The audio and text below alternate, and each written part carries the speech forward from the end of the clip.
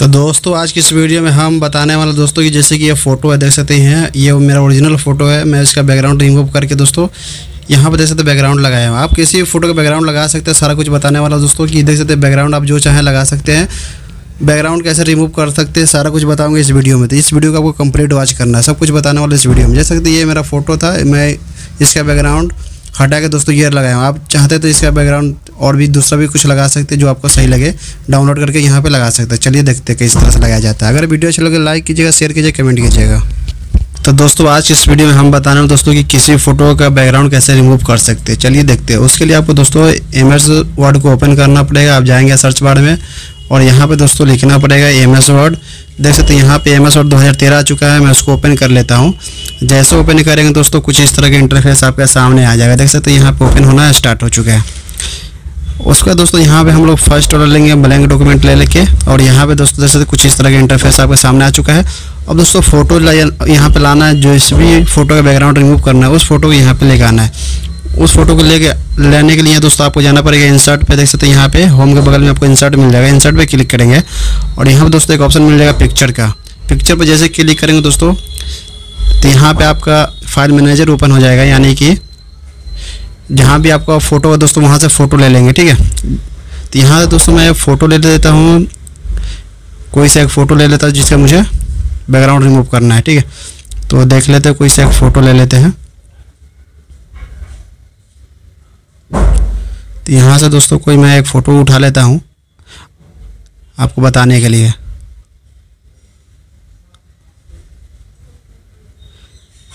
तो दोस्तों जैसे कि आपको दिख रहा हो, इस फ़ोटो को हम ले लेते हैं और यहाँ पे इंसर्ट कर देते हैं। तो हमारा देखेंगे दोस्तों फ़ोटो आ चुका है। ये फ़ोटो मूव नहीं हो रहा है। आप इसको मूव करने की कोशिश करेंगे मूव नहीं होगा। तो मूव होने के लिए, करने के लिए सबसे पहले आपको फ़ोटो को एक बार सेलेक्ट कर लेना है। फ़ोटो जैसे सेलेक्ट हो जाएगा दोस्तों, यहाँ पे एक ऑप्शन मिल जाएगा फॉर्मेट टाइप का। ठीक है? फॉर्मेट पे क्लिक करेंगे और यहाँ पे एक ऑप्शन मिल जाएगा रैप टेक्स्ट का। ठीक है? इस वाले पे आएँगे और यहाँ पे बहुत सारे ऑप्शन मिल जाएगा। इस, यहाँ पे आपको क्लिक करना है इन फ्रंट ऑफ़ टेक्स्ट ठीक है? इन फ्रंट ऑफ़ टेक्स्ट पे क्लिक करेंगे, अब मेरा फ़ोटो ये मूव होना स्टार्ट हो चुका है। आप देख सकते हैं ये मूव होना स्टार्ट हो चुका है। तो इसका साइज़ थोड़ा हम कम कर देते हैं दोस्तों, ताकि आपको दिखेगा।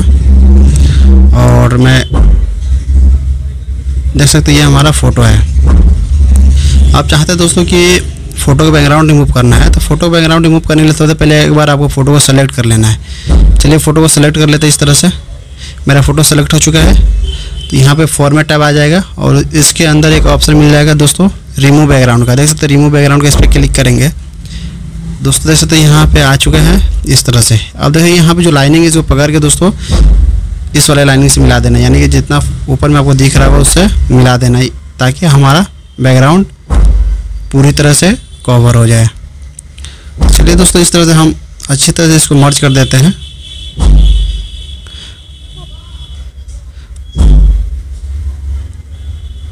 आप देखेंगे दोस्तों कि इस तरह से सेलेक्ट कर लेना है। मैं नीचे से भी थोड़ा कर लेता हूँ। जितना भी आपको बैकग्राउंड रिमूव करना है। ठीक है। थोड़ा इसका साइज़ हम लोग और कम कर देंगे। अब देखें दोस्तों कि इस तरह से हो चुका है। अब अब दोस्तों, हमारा तो नीचे का बैकग्राउंड अच्छी तरह सेलेक्ट हो चुका है, लेकिन दोस्तों, यहाँ पे देख सकते हैं, जो कलर है, यहाँ बाल पे भी आ चुका है। तो इसको हटाने के लिए सिंपल यहाँ पे एक ऑप्शन मिल जाएगा मार्क एरिया टू कीप इस पर क्लिक कर देंगे और यहाँ पे इस तरह से सिंपली इसको माउस से ड्रैग कर लेंगे ताकि हमारा ये कलर हट जाए। जो जो कलर सेलेक्ट रहेगा, यानी वो रिमूव हो जाएगा। तो दोस्तों, इसको हटा लेना है। इस तरह से, जहाँ जहाँ भी आपको कलर दिख रहा हो कलर को हटा लेना है। देख सकते हैं मेरा अच्छी तरह से बैकग्राउंड सेलेक्ट हो चुका है। बस इतना होने के बाद दोस्तों सिंपली आपको यहाँ पे एक ऑप्शन मिल जाएगा कीप चेंज का। ठीक? कीप चेंज पे क्लिक करेंगे।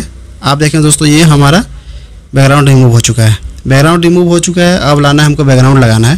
तो बैकग्राउंड लगाने के लिए सिंपली आपको पहले इसका साइज़ मैं बढ़ा देता हूँ ताकि आपको अब दिखेगा। तो मैं फ़ोटो को थोड़ा साइड में कर लेता दोस्तों। अब एक बार फ़ोटो को एक बार आप क्लिक कर लेंगे, ठीक है? चलिए मैं एक पहले सेप ले लेता हूँ। एक सेप ले लेता हूँ, उसके लिए यहाँ पे जाएँगे इंसर्ट पे। और यहाँ पे दोस्तों, अगर बैकग्राउंड कोई लगाना चाहते हैं पहले से है आपके पास तो यहाँ जाएँगे पिक्चर पे, बैकग्राउंड ले लेंगे, ठीक है? तो मैं आपको सिंपली एक कोई सा बैकग्राउंड लेकर लगाना चाहता हूँ तो यहाँ पे इंसर्ट पे जाएँगे और यहाँ पे एक ऑप्शन मिल जाएगा शेप्स का, ठीक है? और यहाँ से रेक्टेंगल ले लेंगे। और यहाँ दोस्तों रेक्टेंगल को इस तरह से पकड़ के आपको ड्रैग कर लेना है। फ़ोटो के अकॉर्डिंग अब देखेंगे दोस्तों कि हमारा रेक्टेंगल आ चुका है। तो रेक्टेंगल आ चुका है तो यहाँ पे आपको पहले फ़ोटो का साइज़ देख लेना है। मैं फ़ोटो पे क्लिक कर देता हूँ एक बार। ठीक है, ये रेक्टेंगल है, ये फ़ोटो है। तो फ़ोटो पे एक बार क्लिक करेंगे और इसका साइज़ देख लेंगे। कितना साइज़ है?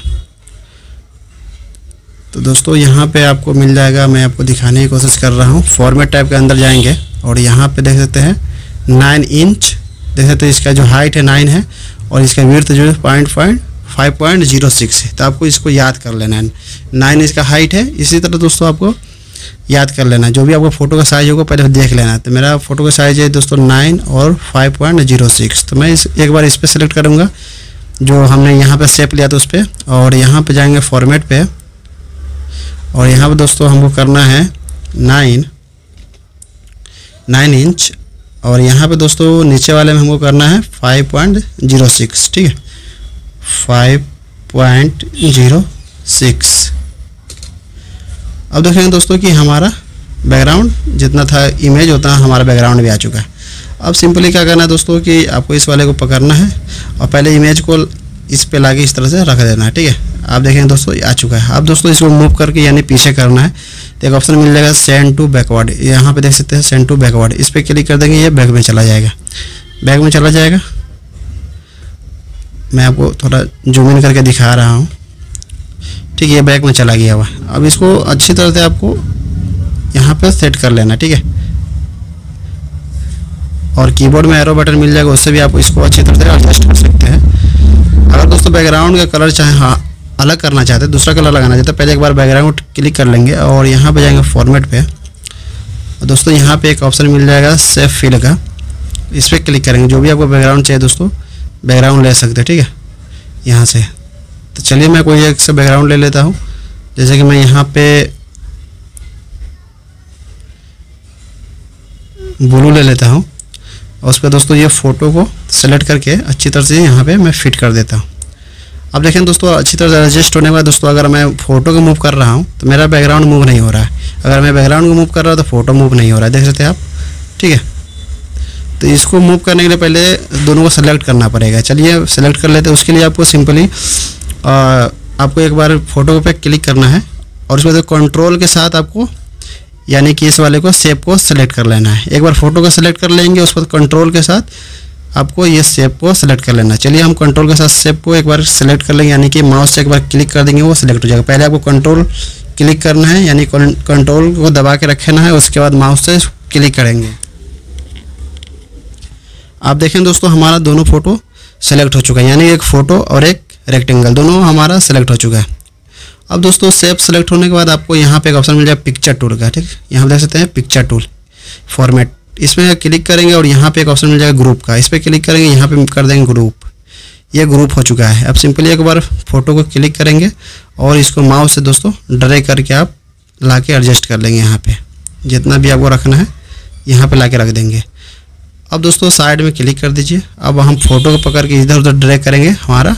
देख सकते हैं दोस्तों कि बैकग्राउंड भी साथ में जा रहा है। अब इसको दोस्तों सेव कर सकते हैं। ये जाएँगे यहाँ सेव पे और फ़ाइल पे जाएँगे। दोस्तों, यहाँ पे सेव पे क्लिक करके इसको जहाँ भी आपको सेव करना है सेव कर सकते हैं। तो दोस्तों, अगर वीडियो अच्छा लगे लाइक कीजिएगा शेयर कीजिए कमेंट कीजिएगा। अगर आपको नहीं समझ में दोस्तों तो मेरे से पूछ सकते हैं, मैं उसके ऊपर एक और नया वीडियो बना दूँगा, नहीं तो मैं कमेंट में जवाब दे दूँगा। तो मिलते हैं नेक्स्ट वीडियो में। अगर चैनल अभी तक सब्सक्राइब नहीं किए तो इस तरह का वीडियो देखने के लिए चैनल को सब्सक्राइब कर लीजिए। अगर दोस्तों चाहते हैं कि थोड़ा लाइटिंग दे दे तो दोस्तों नेक्स्ट वीडियो में मैं बताऊँगा कि किस तरह चेहरा पर लाइटिंग कर सकते हैं। सारा कुछ बताऊँगा नेक्स्ट वीडियो में। चलिए, मिलते हैं नेक्स्ट वीडियो में।